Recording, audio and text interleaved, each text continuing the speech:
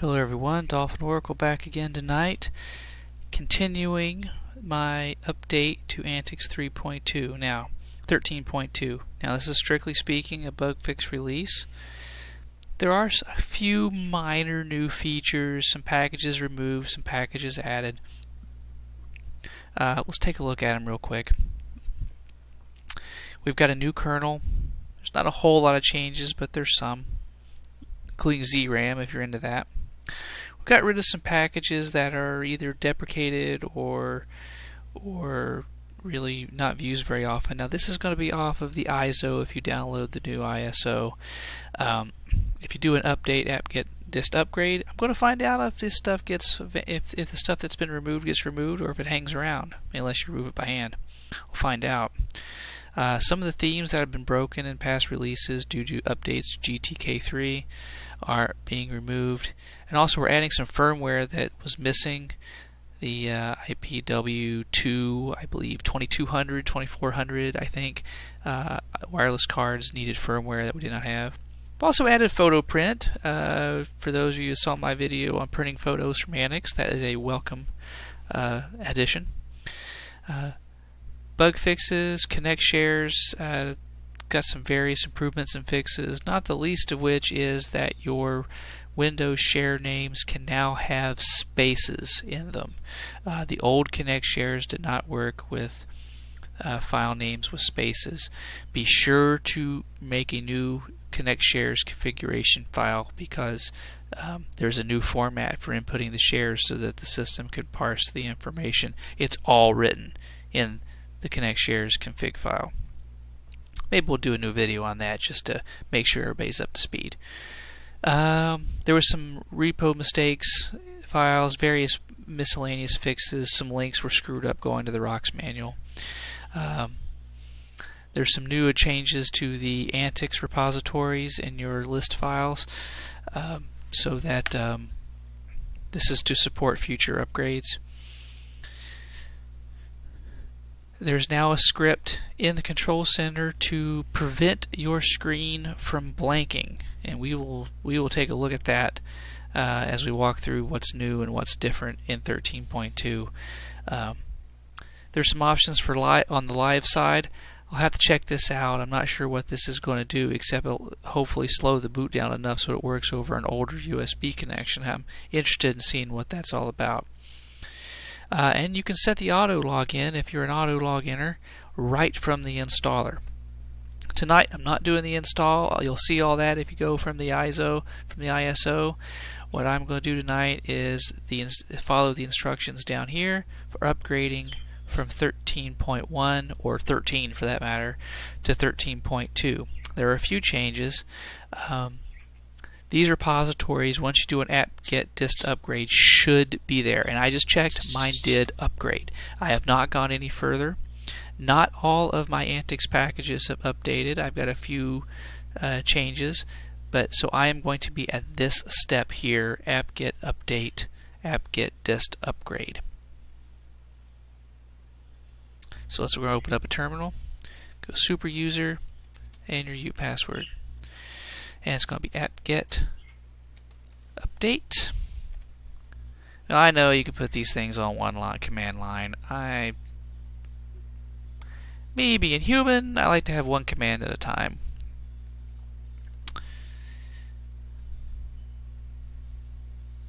Alright, so it's updating it's uh, updating the sources. We're all done.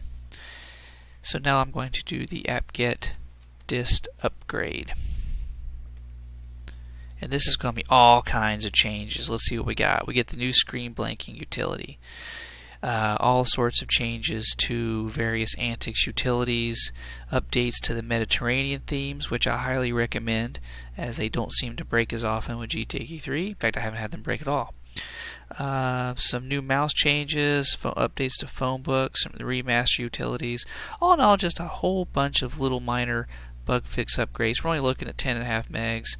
Um, so let's go ahead and have it do its thing. Now, if you're upgrading from 13.1, I will warn you, you're going to have to do the apt-get dist upgrade twice because once the Antix server repos changed during the first upgrade dist upgrade, you're going to need to do it again um, to get all these other new changes. I did this in my previous video, which was just a general apt-get update, apt-get up, dist upgrade video. It really has no difference whether what the version numbers are. Um, but with the change in the repos, you have to actually do it twice because the new stuff is in the new repos, not in the old ones. Still running the default Wheezy uh, configuration, and now the Antix repos are now divided into stable and testing as well. And you'll see that once we're done um, with the updates. Now, if you're if you're doing this on an install system, one thing that's not going to change. There's some new tweaked menus um, uh, that aren't going to be on your system. There's instructions at the home page for what to do. There's some enhancements to the menus, all three, IceWM, JWM, and Fluxbox. Um, and it tells you how to copy those over. Uh, there's changes to the Connect Shares folder. And it's going to show you how to do that. There's the ROX, particularly the ROX menu. In the ROX send to right click menu now, there's going to be a few new menu options. Probably the most handy is going to be the um, uh, extract and compress, uh, make a new archive options. Those are pretty nice. And then we've got some options for uh, GTK2 um, and GTKRC 2.0 mine. Uh, this is handy for customizing ROX. Um, not really that important unless you're customizing ROX. But we'll go through those one at a time once the update is complete. We also have to update the kernel. So you see it's unpacking all of its stuff. This, there's a lot to unpack, even though the download wasn't very big. There's a lot of files to to uh, to unpack. I just realized that I closed that page. Going to need it for the uh, kernel installation lines because the kernel will not download. You have to do it separately. If you're 32-bit, we have a 32-bit kernel. If you're 64-bit, there's a 64-bit kernel. That's the line I'm going to copy.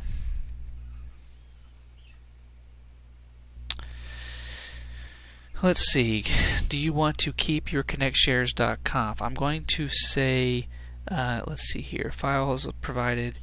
I'm going to let it copy it because there are changes and I need to set it up again anyway. I want to let it put the new one in and the new template file too.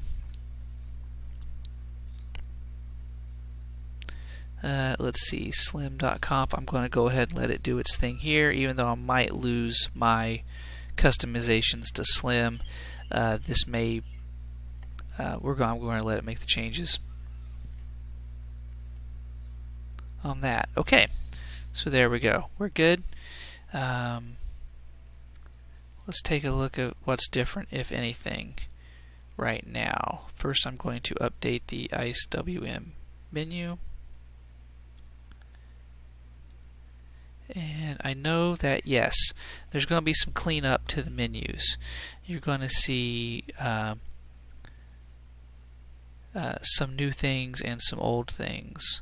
Let's see if I can find a change here. For, one thing, you're going to see that Connect Shares is now in the Internet menu instead of in uh, System.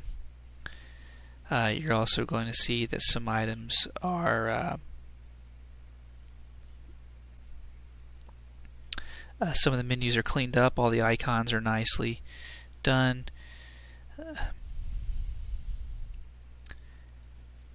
And in preferences, a lot of the older, very, mm, shall we call it, esoteric utilities are gone, and this menu is vastly simplified.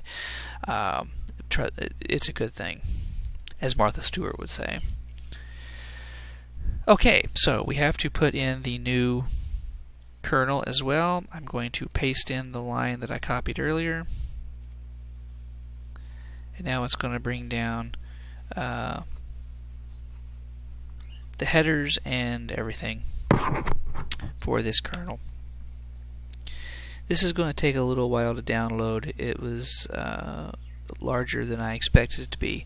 So I'm going to pause my video here and we'll come back when it is uh, done downloading.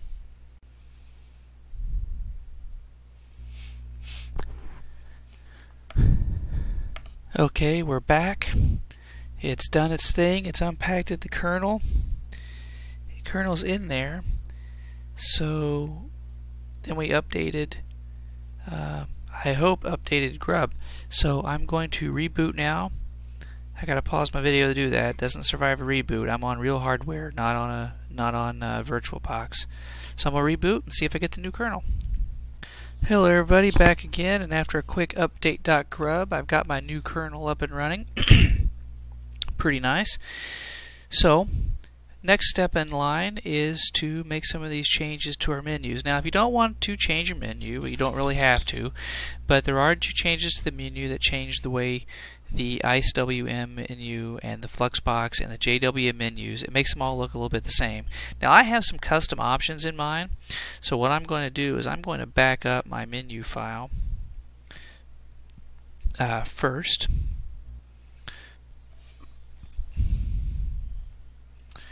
Uh, let's see here, go home, and my menu file, my custom menu file is in IceWM in the home folder. Remember, to show hidden folders, you have to say uh, Control H to show the hidden folders. And I am going to select my menu, and I'm going to say uh, to uh, rename it. Actually, I'm going to copy it. And now I'm going to paste it in there. And I'm going to call it menu.back.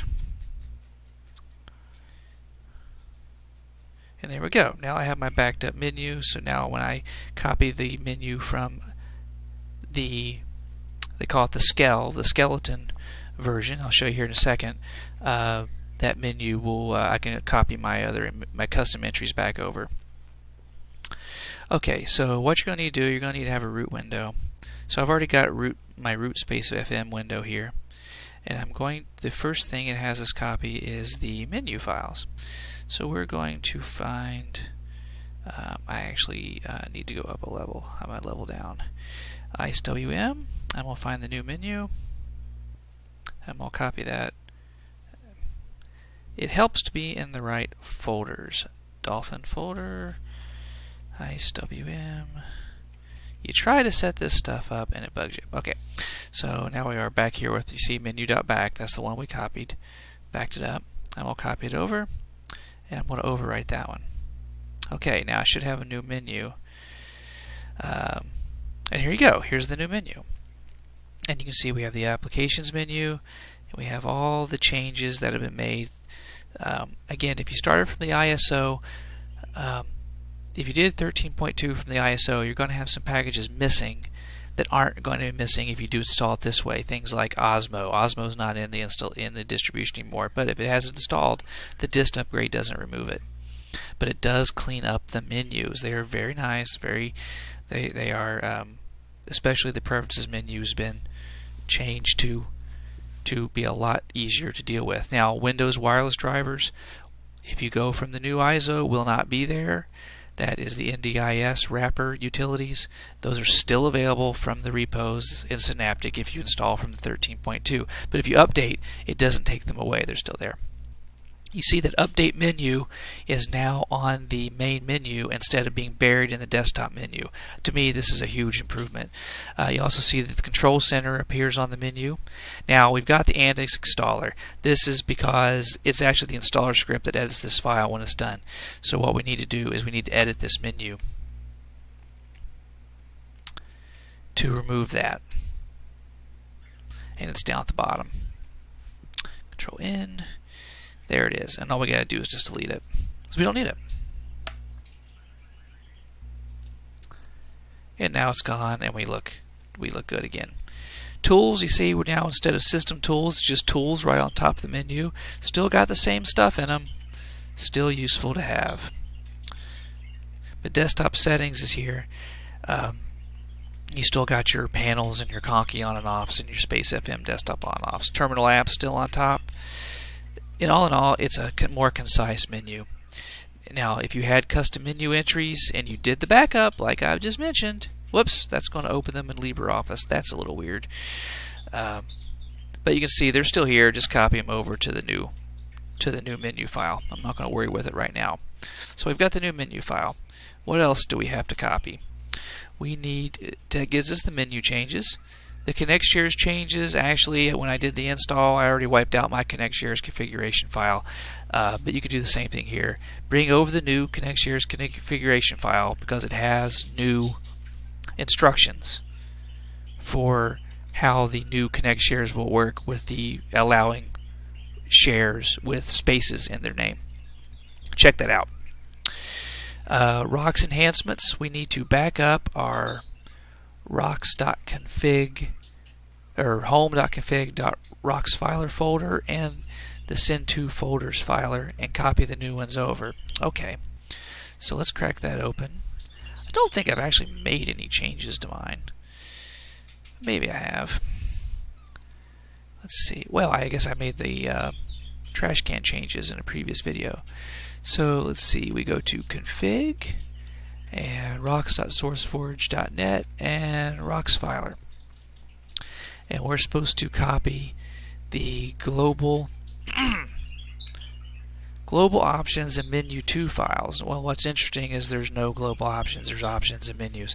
I am going to copy all three of these because I really don't think it's going to hurt anything.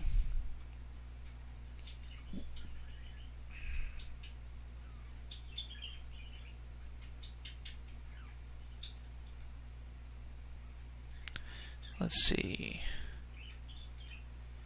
Oh, this is the skel folder. I'm in the same folder twice. That was uh, that was not bright of me. I need to go back to my home dolphin folder because one of these needs to be the files I'm going to be using. .config rox dot sourceforge.net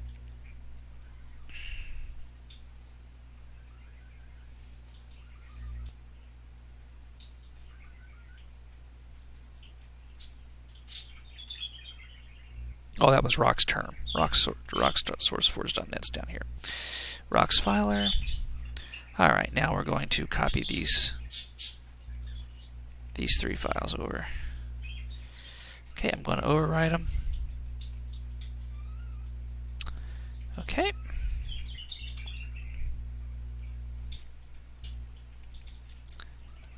Actually, those need to be over here too, so I need to copy them back. That was my mistake. And let's see, we also need to do the send to folders. So let's go up a level and check out the send to folder. Let's see what I've got in the home send to folder.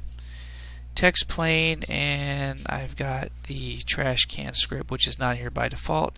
Uh, all of these things are not here so I'm going to copy them all except text.plain.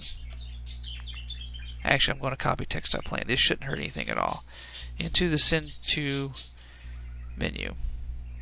Okay.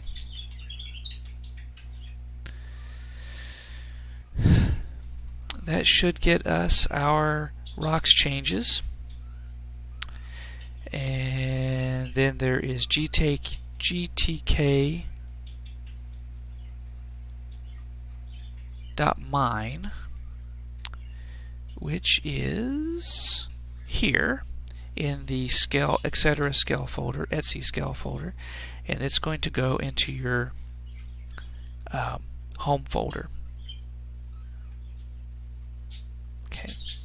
And as far as GTK the changes why it keeps opening up in in LibreOffice I do not know. We're going to close the root window and bring up this one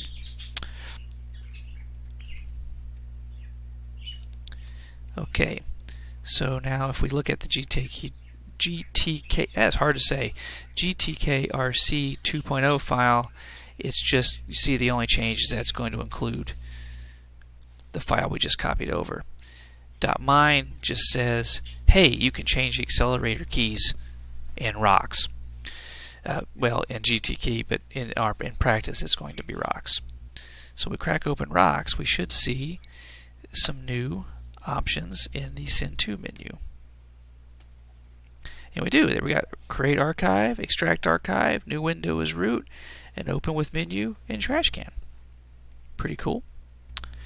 I should also see delete is with the with the with the modification to GTK uh, mine, we can um, we'll be able to remap. Uh, if you go from the ISO, you'll find that they've remapped the ROX, the accelerated key for delete in ROX to delete. So that's pretty nice too.